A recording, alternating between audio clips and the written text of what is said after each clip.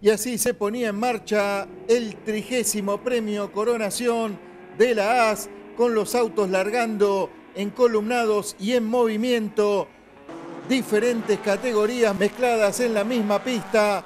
Impresionante el pasar de los autos por el sector de boxes, todos juntos tirando, acelerando al mismo tiempo. Los autos del GT, del TMHF, TMH Light, DTNH y monomarca 128, también con algunos autos de pilotos chilenos invitados, como aquí, por ejemplo, el Golf MK1 de Rasuris, en el cual nos metemos para disfrutar del manejo de visir, peleando por la punta de la competencia.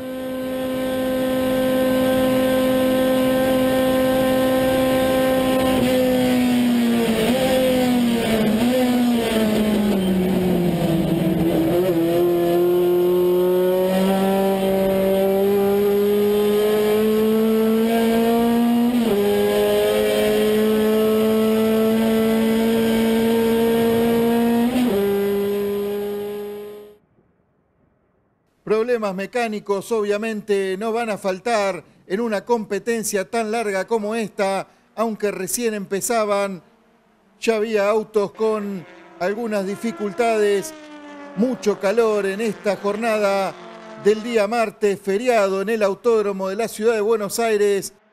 Ya vemos cómo los punteros empiezan a alcanzar a rezagados. Veíamos el auto de Caracachán, ahí está el auto de Eduardo Mayo, uno de los debutantes, muy bien presentado. Pelea por las distintas posiciones. Recordamos también que había campeonatos abiertos como el TMHF y la monomarca 128. Otros ya estaban definidos, pero igualmente se nota la intención de los pilotos y de los equipos por ganar la carrera más importante del calendario histórico de velocidad. Por supuesto, una carrera de casi cuatro horas, una carrera de larga duración donde hay un sector destinado al reabastecimiento, cambio de pilotos, lo que le da un condimento especial.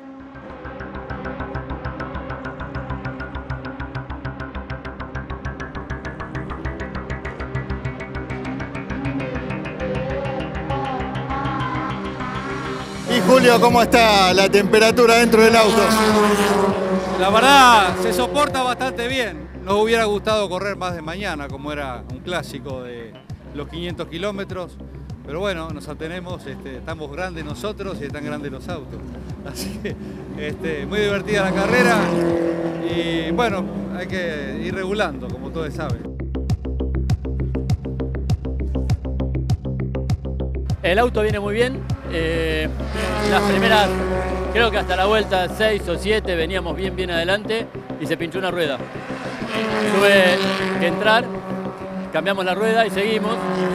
Eh, no sé bien en qué mucho tiempo, una vuelta fácil. Perdimos una vuelta fácil, eh, empezamos a recuperar bastante respecto de los demás, pero no sé cuánto habremos recuperado respecto de los punteros.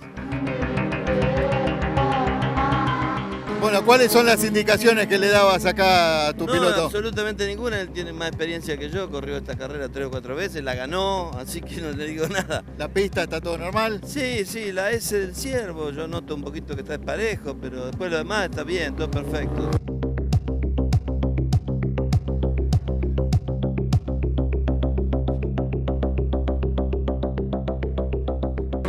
¿Cómo viene el equipo Remax? ¿Bien? Bien, bien. Bueno, ¿cómo, ¿cómo te bajaste? ¿Cómo sentiste el auto? Perfecto. Tenemos, el auto anda perfecto. Bueno, y acá tu piloto Le tengo invitado. fe también, le tengo ¿Tú fe. ¿Tenés fe? Ya, como te digo siempre, ya le dije lo que tengo que hacer, pero no lo puedo decir al aire porque hay mucha gente que escucha acá. ¿Entendés?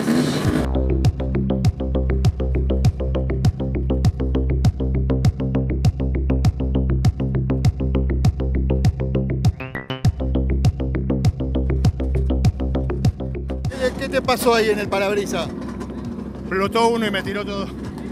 Todo. Todo en el parabrisas. Creía que se, creía que se metía para adentro todo. ¿Podés ver bien? Sí, sí. Hay que rebuscársela.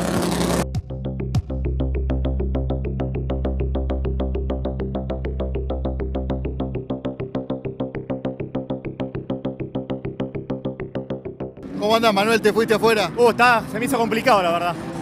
Doblando a la derecha, sobre todo, la horquilla y final del salote, el auto va muy de cola. Se me complicó, me fui afuera dos veces. Eh, bueno, nada, ahora hay que llegar, hay que ir tranquilo, hay que hacer más despacio esa, esa parte, o por lo menos yo lo tengo que hacer más despacio. Bueno, ¿cómo anduviste, Julián? Con, au- con auto nuevo para vos. Bien, impecable. El auto va bárbaro, así que estamos cuidando. Sabemos que es una carrera larga.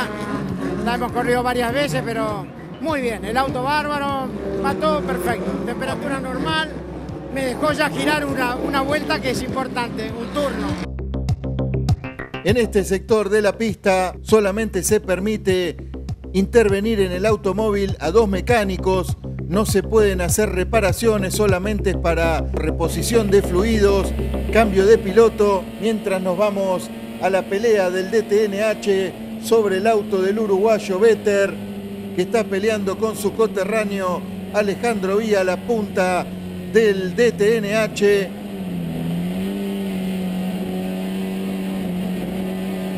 Aquí vemos una pelea muy interesante también que duró muchas vueltas.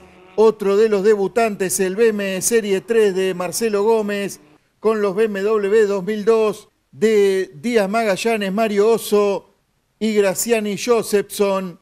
Ahí vemos entrando al sector de boxes a Fabián Pons, uno de los aspirantes al torneo de la monomarca 128 junto con Force Fabio Basso, el tercer aspirante, no fue partícipe de la carrera y relegó todas sus posibilidades. ¿Cómo viene la lucha por el campeonato, Eduardo? La verdad no sé, porque Asi tuvo que abandonar y nosotros perdimos una vuelta por una goma rota. Pero ahora Richard tuvo que parar por un problema de en tres cilindros. O sea, está entre ustedes dos. ¿Qué sé? Sí, está entre nosotros dos, pero no sé. Sí, ya sé. Atento, vas a chocar.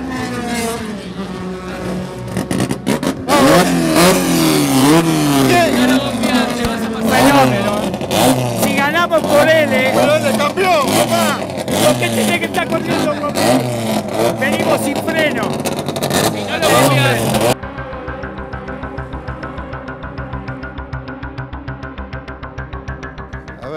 Cuáles son las instrucciones para el compañero. No, hola, ¿cómo andan? Tenemos que nada, tratar de llegar. Este, que no nos pase lo del año pasado, que estuvimos a punto de ganarla y a tres vueltas nos quedamos.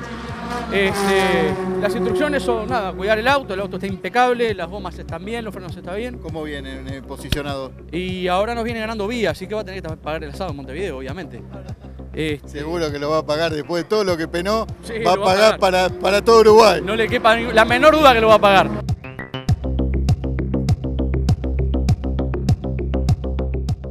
Queda lo último de la carrera, vamos a tratar de que el auto aguante.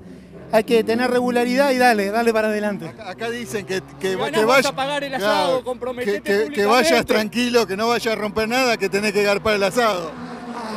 Bueno, si gano lo pago. Suerte. Gracias. Quiero ah, felicitar a Nacho Mazal, que hizo un carrerón espectacular. Está debutando hoy, muy feliz. Gracias. Y esta es la única manera de seguir el clasificador en carreras de este tipo, con tantas paradas, tantos ingresos a boxes. El calor, la temperatura de estas horas de la tarde empezaba a hacer estragos en los autos, también en algunos pilotos. Aquí vemos cómo empiezan los problemas de todo tipo, autos que se quedan, autos que se van de pista también, con desgaste de neumáticos. Bocha Caracachán también que se quedaba de a pie. La bandera amarilla que se agitó en varias oportunidades. Nos vamos a la última pausa de este programa y ya seguimos con la definición de los 500 kilómetros.